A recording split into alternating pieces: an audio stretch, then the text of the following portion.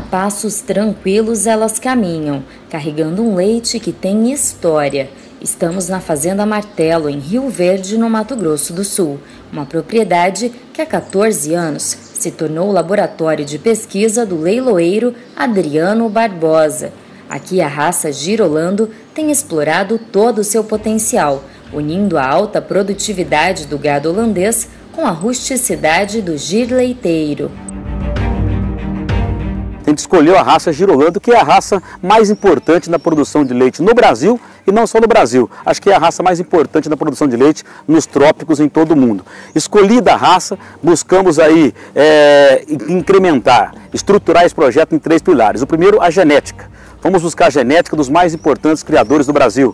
Compramos animais da genética aditiva, dos sucessores do Dr. Hélio Coelho aqui em Campo Grande, compramos genética da Calçolândia, Dr. Gabriel Donati Andrade, adquirimos genéticas da, da Fazenda Esperança de Lins, do seu Valdir Junqueira de Andrade, dentre outros importantes criadores. Então fizemos aí uma estrutura de genética muito forte em cima dessa base de criadores tradicionais. Depois, o outro alicerce é o alicerce da nutrição. Né? Não adianta você comprar genética se você não tem uma boa estrutura de comida. Né? Fizemos o pasto, dividimos alguns piquetes, a gente estruturou uma integração lavoura-pecuária para poder dar mais suporte de alimentação ao rebanho, principalmente no período da estiagem. E fizemos uma parceria, inclusive, com a, com a Dames Nutrição Animal.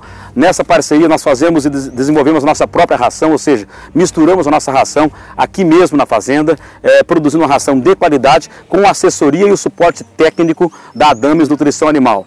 Então, a estrutura de nutrição é importante é, nesse tripé: genética, nutrição e sanidade. Na sanidade, escolhemos um profissional é, habilitado e credenciado para fazer o acompanhamento do calendário de vacinas, do calendário de vermifugação, do, do cuidado com a mastite, do cuidado com a higiene, enfim, em cima desse tripé, genética, nutrição e sanidade, estruturamos esse projeto que hoje tem se mostrado bastante rentável aqui na Fazenda Martelo.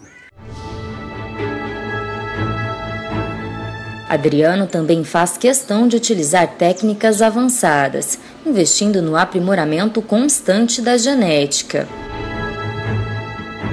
A raça tem correspondido muito bem, não só na produção de leite, mas também na reprodução. A gente trabalha com inseminação artificial, é, observando o cio, trabalha com IATF, inseminação artificial em tempo fixo, trabalha também com TEF, com transferência de embrião em tempo fixo, enfim, a gente multiplica a raça Gerolando aqui, usando as mais modernas tecnologias, e essa raça tem correspondido de maneira bastante satisfatória. Então a gente tem evoluído muito rapidamente com a qualidade genética desse rebanho. A sustentabilidade também se destaca no projeto, por meio do método de churumeira, que reutiliza resíduos. É o famoso esterco líquido como aliado no crescimento das pastagens. Mas a palavra da vez por aqui é a produtividade. Aqui na leiteria da Fazenda Martelo são ordenhadas 70 vacas por dia, o que traz um rendimento de mil litros de leite diários. O processo é todo mecanizado, atende a todos os padrões sanitários e higiênicos. Ali, pelo encanamento, o leite vem chega até aqui. O Wender vai servir para a gente um pouquinho, para a gente provar.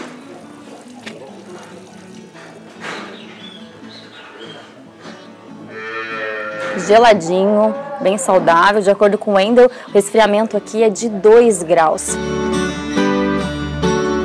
A qualificação da equipe é um diferencial, afinal, eles são fundamentais na busca por um leite com excelentes números em cada avaliação mensal.